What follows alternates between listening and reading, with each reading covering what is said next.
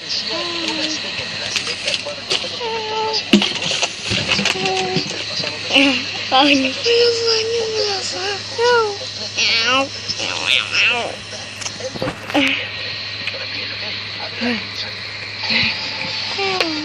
Oh. Ow, ow, ow, ow, ow, ow, ow, ow.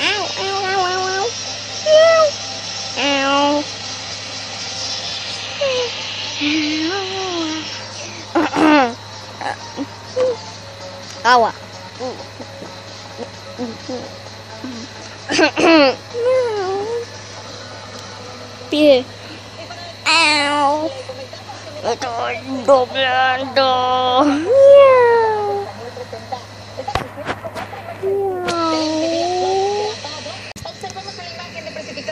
Donde estos chubascos se registran hacia la parte del occidente del país, partes del norte, algunas partes del noreste, también centro y sur del territorio nacional y además de buena parte del territorio tejano. Y también podemos observar esta tormenta tropical CAE. La podemos identificar muy bien en la imagen de precipitación donde continúa con su trayectoria hacia la parte del noroeste y pudiera estar afectando hacia eh, los cabos durante las próximas horas también para que lo considere.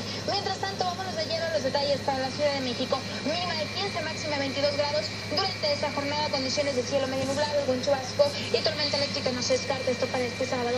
El domingo y lunes un poco más en cuanto a las precipitaciones, lluvia, actividad eléctrica se están registrando con mínimas de 14 y máximas que llegan entre los 22 o los 23 grados centígrados en transcurso de la tarde. En la zona tapatía, condiciones de cielo medio nublado, algún chubasco, tormenta eléctrica de forma helada no se descarta.